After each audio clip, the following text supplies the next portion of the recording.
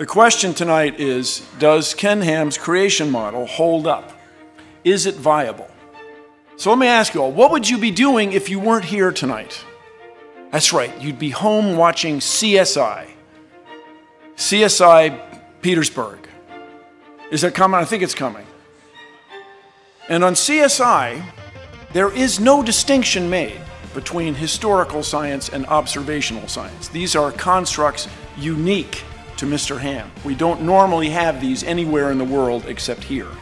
Natural laws that applied in the past apply now. That's why they're natural laws. That's why we embrace them. That's how we made all these discoveries that enabled all this remarkable technology. So CSI is a fictional show, but it's based absolutely on real people doing real work. When you go to a crime scene and find evidence, you have clues about the past and you trust those clues and you embrace them and you move forward to convict somebody.